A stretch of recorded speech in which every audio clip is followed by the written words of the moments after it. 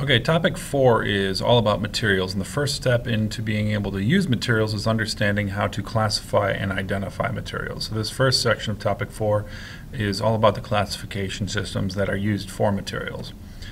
First, let's define a few terms. Uh, you, if you've taken chemistry, you've probably seen these terms, and you probably have heard of these before, but we need to specifically be able to identify these. Um, an atom is the smallest chemically separable particle of an element. After you separate, you can separate it down into electrons and protons and neutrons, but once you do that, um, the atom, it loses its properties. So uh, an atom is considered the smallest chemically separable. Uh, consists of a nucleus of protons and neutrons surrounded by an orbiting cloud of electrons. Examples would be carbon, iron, oxygen, uranium, etc.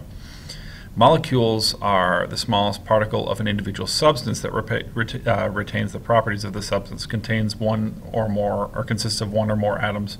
Examples here would be water, sodium chloride, Kevlar, uh, Kevlar um, all sorts of polymers are in this category. We're going to get into all of this down the road. Metals, uh, which you're going to need to understand, are particular elements and um, alloys that act as good conductors of heat and electricity. Uh, they consist of closely packed atoms and tends to exhibit malleable or ductile properties. A term you're going to learn with metals is um, they are uh, atomically kind of like um, there's a its nucleus is in a sea of electrons. What it means by that is the electrons for metals flow very freely, which is why they're so highly conductive. Examples of metals would be iron, silver, and aluminum. There are specific types of elements. Now, an alloy the next one down is a substance that's made of one or more metals. It is basically, it's a mixture of a metal and another metal or a metal and something else. Uh, typically made by combining elements uh, when molten to enhance one or more properties of the finished alloy. For example, steel is a combination of iron and carbon and other materials. Other uh, alloys would be brass and solder. Um, and, uh, most aluminums, uh, there are there are thousands of different types of aluminums, and all of those aluminums are alloys. Uh, metals typically don't exist very long in their pure state because they'll oxidize very quickly. So alloys are a combination of metals. A lot of times that prevents them from oxidizing or breaking down. Composites are uh, engineered or natural material that's made of two or more materials that may maintain unique chemical or physical characteristics. For example, a man-made uh, composite would be fiberglass. Fiber, you have um, you have fibers that are a textile, and then you have uh, ceramics that bond everything together. Uh, wood is a um, a composite material, but it's naturally occurring. You have uh, fibers that make up basically kind of like the, the vessels along the tree, and then a lignin matrix that locks everything together. That's what wood is. Concrete is an example. That has um, cements and it has aggregates and it has sands that are all mixed into concrete to give it its strength and structure. Describe a bond as a force of attraction between atoms. Uh, with atomic bonds, you have three different ones that we're going to learn about, ionic, covalent, and metallic. Now, ionic bonds are caused by attraction between oppositely charged ions, or charged atoms. Covalent bonds are bonds that occur when electrons are shared between atoms. And a metallic bond is kind of like a modified covalent bond, and this is a bond that occurs when electrons are shared among multiple atoms. You need to be able to consider and differentiate between these three types of bonds. Know when you see one if it's an ionic bond, a covalent bond, or a metallic bond. Describe how materials are classified into groups according to similarities in their microstructures and properties. Um, there are different categories for separating materials. You have physical properties, chemical properties, mechanical properties. All of these create classification systems. Now, what's important to realize is when you classify a material, the classification that you apply to it needs to apply to more than one material. You cannot have a category that just contains a single item in the category. That kind of defeats the purpose. It's kind of like when you are creating a, um, when you're doing an outline of a paper that you're writing, you cannot have, or you're not supposed to have uh, one individual um, item and one thing in a category. There has to be multiples. Explain that several classifications are recognized, but no simple, single uh, classification is perfect.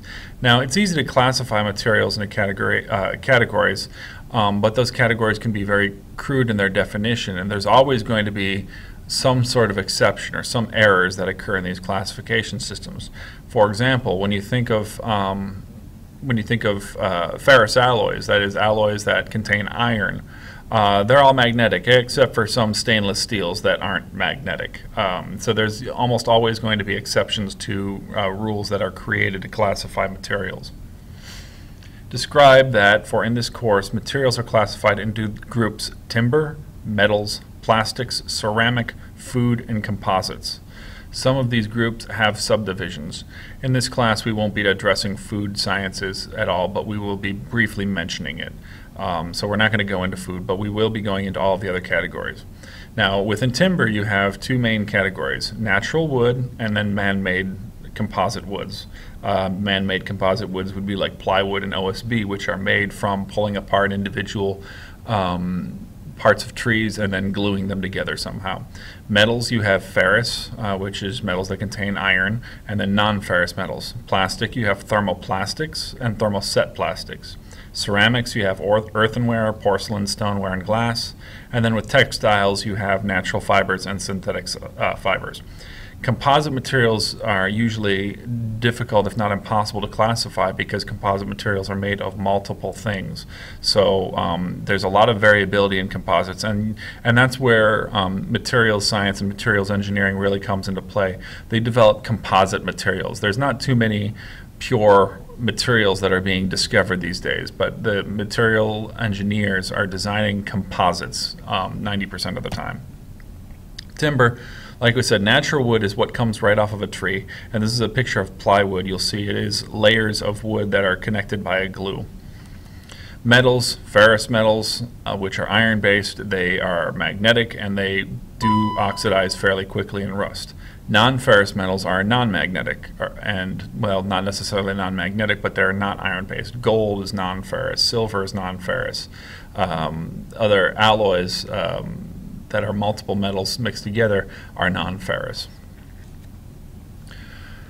Thermoplastics um, are a type of plastic that will remelt. Um, thermoplastics melt down when heated, so uh, th those are probably the most common plastics that you're going to encounter. Uh, anything that can be heated, formed into a shape, and then melted down and reformed into a different shape, that is a thermoplastic. A thermoset, and a common example of thermoset plastics are, is a material called Bakelite. Bakelite is a plastic, but it does not melt down.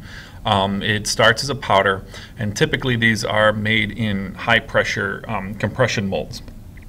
And this material is put in, it's heated, and, it's, and a pressure is applied, and it fits into the form. Um, and then when the mold is separated, the part comes out, and that part is a thermoset, which means no matter how much heat you apply to that part, it will never melt down. You cannot easily recycle thermoset plastics. They just don't melt down. Um, so they're not nearly as common as thermoplastics because they're usually much more difficult to work with. Ceramics, you got earth, earthenware, porcelain, stoneware, and glass.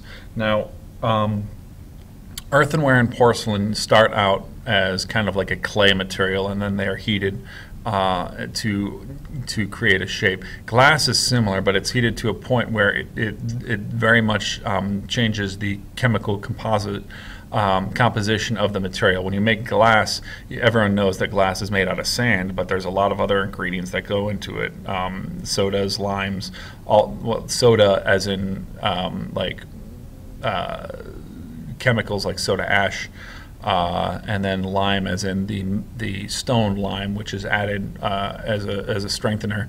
Plus, also other metals a lot of times are added to glass to colorize them. Um, for example, if you add, I believe it's copper to the small pieces of copper into glass, it'll it'll tint the glass green.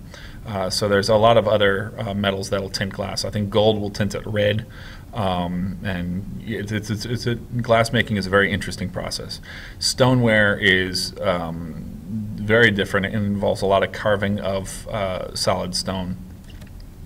Textiles, you have uh, synthetic fibers, which are usually nylon, rayon. Nylon was the first synthetic fiber that was created. Um, and there are other synthetic fibers. Uh, Kevlar is a synthetic fiber. Um, natural fibers, you have, you know, the big ones, cotton, wool, hemp, all of those are naturally occurring and they are refined by humans to use uh, in clothing and other um, processes that involve textiles. Now, composites are unique because co composites are a combination of natural and or synthetic materials.